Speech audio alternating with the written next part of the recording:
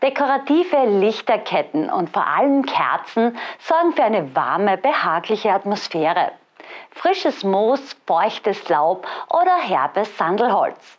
Angenehme Düfte, die uns auf einem Herbstspaziergang begegnen, können wir so auch in unsere Wohnung bringen.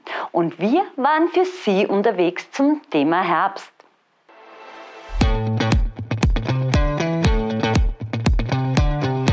Die Herbstzeit hat begonnen. Auf was freust du dich am meisten? Auf die wenige Arbeit, was jetzt kommt. Ist die im Herbst weniger bei euch? Ja, Gemütlichkeit, Ruhe, äh, wieder ein bisschen mehr zusammenkuscheln und vielleicht auch wieder umdekorieren daheim. Einfach wirklich wieder mehr Ruhe, dass wieder mehr Ruhe einkehrt und ja, ich meine, ich mag den Sommer auch total gern, muss ich ehrlich sagen. Aber der Herbst bringt mich halt wieder mehr zurück in die Ruhe. Bei uns auf der Alm haben wir aufs Nebelfrei schöne Wetter.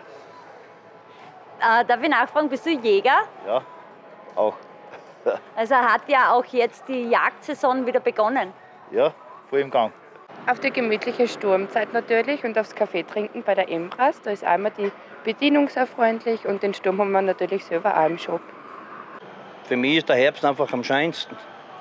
Da kann man alles ernten, dann ist Erntedankfest. Ja, wunderschön. Und im Herbst Motorradfahren geht immer noch.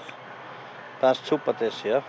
Und das Zusammenkuscheln ist auch schön im Herbst, oder? Ja, mit meinem Motorrad. Ich habe keinen Freund, ich, brauch- ich habe mein Motorrad. Das ist mir lieber. Das kostet nichts, das braucht nichts zurück.